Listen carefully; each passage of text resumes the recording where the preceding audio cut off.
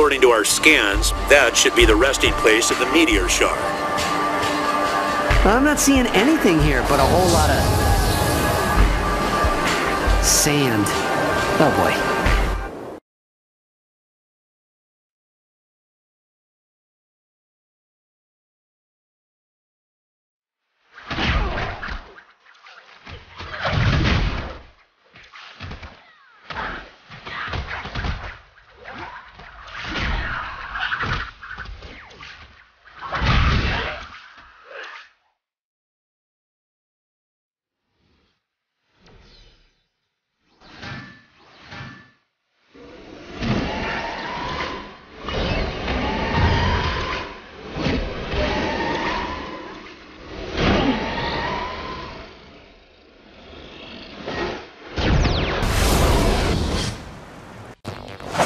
Hi, I'm your friendly neighborhood Spider-Man.